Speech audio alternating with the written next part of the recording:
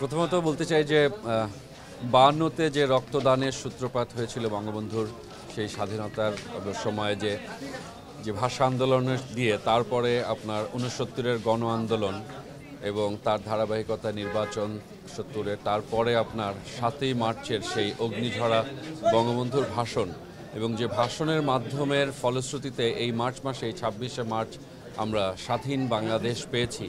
তো সেই বাংলাদেশের জন্য আমি মনে করি যে আমাদের হাজার বছরের শ্রেষ্ঠ বাঙালি জাতির জনক বঙ্গবন্ধু শেখ মুজিবুর রহমানের প্রতি আমরা প্রত্যেকে কৃতজ্ঞ। এই কৃতজ্ঞতার ঋণ আসলে বাঙালি জাতি আমরা কখনোই শোধ করতে পারব না।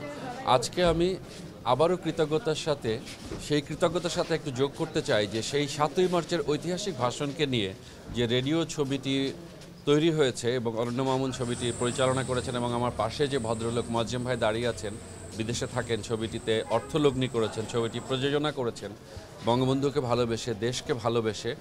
সেই ছবিতে আমাকে কাস্ট করার জন্য নহবত মাস্টারের চরিত্রে আমি আসলে এই মানুষগুলোর কাছে কৃতজ্ঞ। আমি কৃতজ্ঞ আমাদের রেডিও ছবির প্রত্যেকটা শিল্পী কলাকুশলীর কাছে, আমি কৃতজ্ঞ আপনাদের কাছে, আমি কৃতজ্ঞ পুরো জাতির কাছে।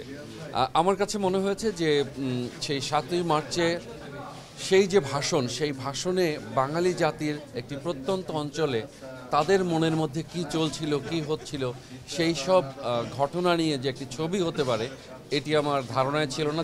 দেখেন যেটা আমি বলতে চাই সেটা হচ্ছে যে, কিছু করতে আসলে সাহস লাগে এবং করে ফেলতে হয়। এখন আপনি মনে করেন একটা ছবি হলো, তাড়াহুড়া করে যদি হয়ে থাকে, আমি, আমার কাছে মনে হয় ছবিটি সম্পূর্ণভাবে যে যতটুকু হওয়া উচিত হয়েছে। ছোটোখাটো ভুল ত্রুটি তো থাকতেই পারে। সো কেউ তো শুরু করেছে। সো আমরা আশা করি ভবিষ্যতে এই ঘটনার উপরে বা সাতই মার্চের উপরে আরও অনেক বিষয়ের উপরে ছবি হবে যেটা আসলে আমাদের কিছু বঙ্গবন্ধুর প্রতি কিছু ঋণ হয়তো আমরা শোধ করার সুযোগ পাবো সেই ছবিগুলোর মাধ্যমে। আমি আসলে চিত্রায়ন করি, আমি অভিনয় করেছি। অভিনয় করার সময় আমার মাথার মধ্যে নহবত মাস্টারটা চিন্তা ছিল বা নহবত মাস্টারকে আমি পোট্রে করেছি। সো আমি চেষ্টা করেছি, আমি জানি না কতটুকু কি করতে পেরেছি।